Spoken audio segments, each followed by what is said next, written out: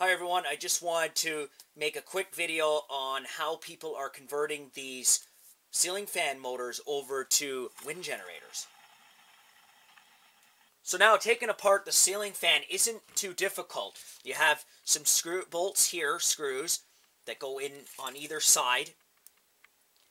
And then you're going to take all of them out plus remove all the electrical components in here, the light switches, everything like that. You don't have to take this part off, but you need to take the all the parts that were on here. So there was a washer on there and some nuts on this particular ceiling fan, this bracket, and there's a couple nuts on there. So they're going to have to be removed. And once you get all those parts off of there, then you have to pry this apart because the bearing is is stuck into the, um, the casing here. So now I'll just pull apart the ceiling fan motor. So now the motor works exactly the same as the induction motor, but it's a low RPM motor. So we have coils that are wound a little differently, and you can see there's one set, two sets, and then this little set here. That this coil here would be your high speed, medium, and then this is the very low speed. But that's just, I'm just guessing. I haven't done any research on these. So now I'm guessing that they're wound in a wave configuration so that one coil is wound clockwise, the next coil then is counterclockwise, and then so on and so forth around the whole stator. And then we have an alternating current going around the actual coils here, and then that makes the, the rotor rotate.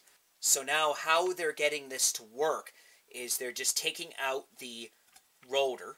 So get rid of that. You won't need that. And then by placing some magnets around this wheel here, you the motor will work as a generator. So as an alternator, actually. I got some magnets out of a DC motor. It's out of a GM car. This heater blower fan. So there's four magnets inside of here. So I just pounded them off of this uh, housing. I've just put the magnets onto the housing of the ceiling fan motor. And I've just taped them on. This is just for demonstration purposes. So I'll just spin it lightly. So you can see the needle jumping up and down. So every time it induces a coil, then there's a positive and a negative voltage being produced. So we have our alternating current. So as I turn this, our alternating current is being produced. So you can see it doesn't take much to, to have the needle jump around. And I'll put this on the voltage, so 10 volts, and I'll spin this thing up, and then we'll see what voltage that we can get out of this. So a little over 5 volts, and I'll try to crank her right up. So almost, I'm almost getting 10 volts if I really get this thing spinning. So almost 10 volts. That's just with two magnets. So now what I'll do is I'll hook up a little LED light here just to show it working. Okay, so I'm just going to give it a spin. The LED lights are hooked to the ceiling fan generator here, and we'll just give it a spin. Now you can notice that it's flickering, and it's flickering because it's an alternating current and also it's it's only operating at a low frequency. So what I'm going to do is I'm going to put this rectifying diode on, and then that'll sort of even out the, uh, the flickering. Okay, so I'll give it a spin now, and you can see it's much smoother now. It's much better. Now, the only thing is we're only powering six LEDs there, so it, it's very uh, low wattage output. So now, in my opinion, this small ceiling fan motor really isn't worth converting over to a generator uh, because of cost of the magnets.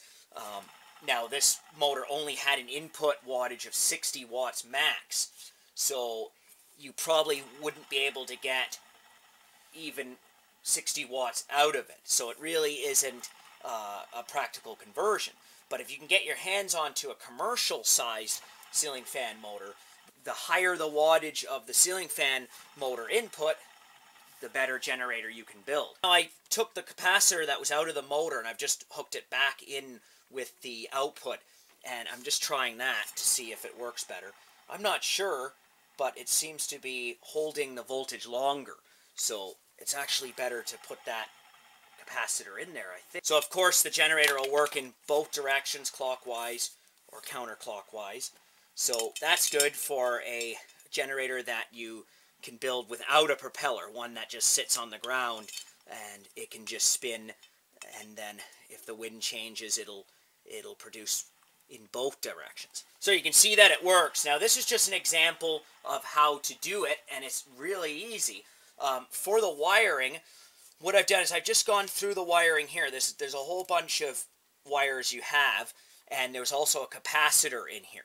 So now I went through the wires and I've only used two of the wires that I got the greatest amount of, of wattage out of. That's probably out of that first large coil. Uh, but of course you could go through the wires and try to wire it differently so that you get a higher wattage out of it. So now you can do this with other motors like an induction, uh, regular induction motor, uh, but this one here is optimal because it's already a low RPM motor. So it doesn't have to spin very fast to produce a voltage. So now this is the easiest way to convert the ceiling fan over to a generator is just to place your magnets around the housing here.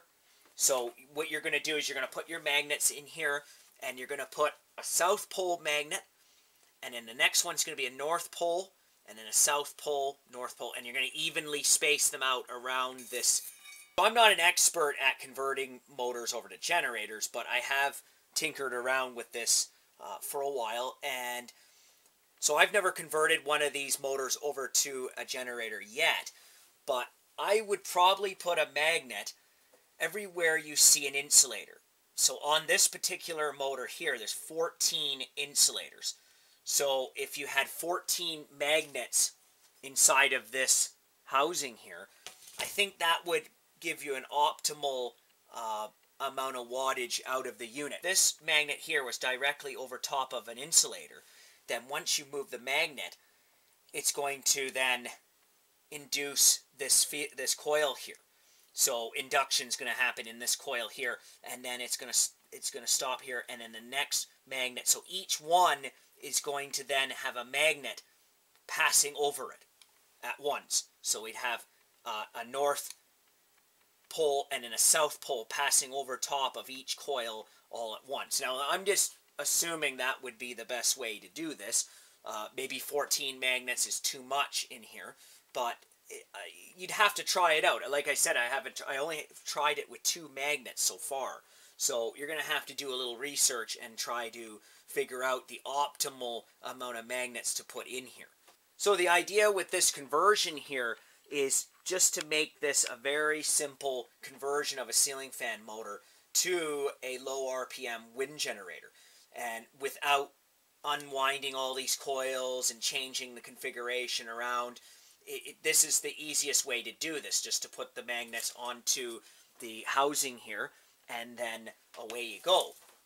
So now I'm not sure if people are actually doing a conversion to the stator here and unwinding these coils and then wrapping in a thicker gauged wire. So I have some wire here that's a little thicker and that could be then wound in instead of this very, very thin coil here, uh, which this motor used to run on 120 volts. Um, I have a few different sizes. This wire here, and then I have also uh, this 14 gauge, but I wouldn't I wouldn't use the 14 gauge if you did want to modify it, you could pull out these little segments here. You can see these pieces are just pushed in, and then you'd have to pull these out with a pair of pliers.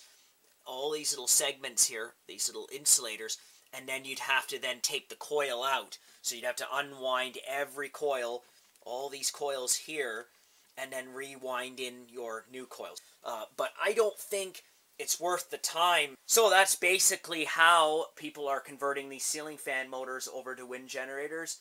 And thank you for watching.